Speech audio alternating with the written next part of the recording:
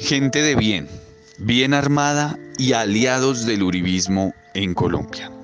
Iniciemos con la vicepresidenta y canciller Marta Lucía Ramírez, quien ha durado más de 20 años ocupando cargos en la gestión estatal y a quien se le ha imputado cargos de vínculos familiares de narcotráfico, aunque a esto la prensa le ha denominado toda una tragedia familiar. Pues yo sí le invito a usted a que mire la biografía mía y la de Bandú. Y no hay una sola investigación, ni acusación, ni cosa oscura, ni en mi vida personal, ni en mi vida como funcionaria.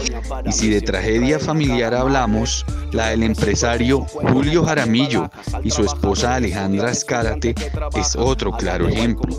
Más de 400 kilos de clorhidrato de cocaína fueron incautados a esta singular pareja. Pero eso sí, en las declaraciones a la prensa, Alejandra Escárate ha sido enfática en que hemos sido, tanto mi marido como yo, personas que nos hemos dedicado toda la vida a trabajar honestamente. Mi esposo no es ningún narcotraficante de octava. Y nos queda claro, es todo un narco de primera. Si hablamos de prensa, no podíamos omitir a la señora Vicky Dávila, periodista colombiana, quien también es ejemplo de tragedia familiar asociada en este caso al cartel génico gracias a su suegro Lucas Génico.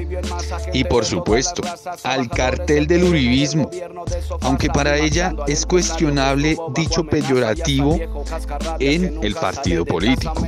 ¿Usted cree que se le puede decir cartel a un movimiento político, guste o no guste, que ha sido tan importante en Colombia?